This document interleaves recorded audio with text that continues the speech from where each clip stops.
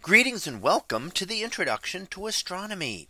One of the things that I like to do in each of my introductory astronomy classes is to begin the class with the astronomy picture of the day from the NASA website that is apod.nasa.gov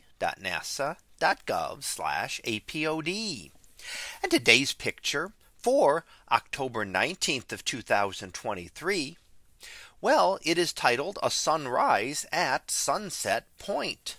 So what do we see here? Well, this is actually a set of images taken on October 14th looking at the sunrise and off in the distance on the horizon we see the sun just rising.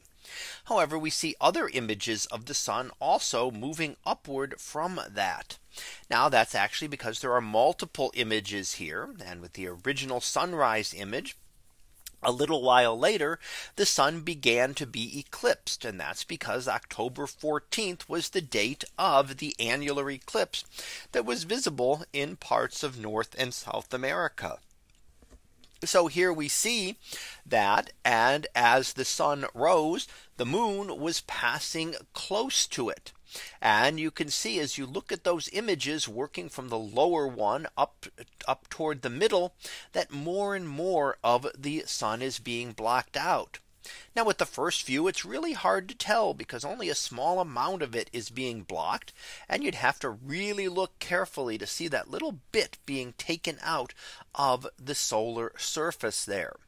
However, as you get closer in, you can see that the sun then appears as a crescent and in fact a very thin crescent at the middle when the eclipse was at maximum. And then as the moon continued to move out, then you would see the sun being a crescent on the other side until finally it was back to just being the full sun again. So eclipses like this do occur of some kind at least every year. We can have some kind of solar eclipse. It may be an annular eclipse such as this one, which occurs when the sun uh, when the moon is further away from Earth and doesn't quite fully block out the sun. So even if you're at the place of maximum eclipse, you won't see the entire sun blocked out. You can also get a total solar eclipse as we will in uh, April of this coming year across much of uh, uh, much of the eastern portions of the United States and parts of Mexico.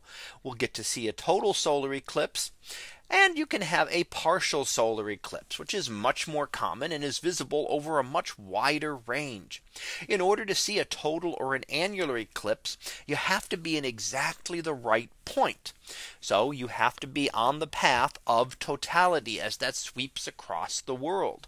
If you're a little off that area, then you will see a partial eclipse. And the more distant you are from that path, the less of an eclipse you will see. So the less of the sun that we would see eclipsed. So for example, for this eclipse, if you were on the eastern part of the United States, while it was mostly visible in the west, you could have seen an eclipse, but it would have only been about 20 or 30% blocked out. Some of the very earlier images here, just a small bite being taken out of the sun. The closer you get to the eclipse path, the more of the sun that will be blocked out by the moon during that eclipse. So that was our picture of the day for October 19th of 2023. It was titled a sunrise at sunset point. We'll be back again tomorrow for the next picture previewed to be a comet and a galaxy. So we'll see what that is about tomorrow. And until then, have a great day, everyone. And I will see you in class.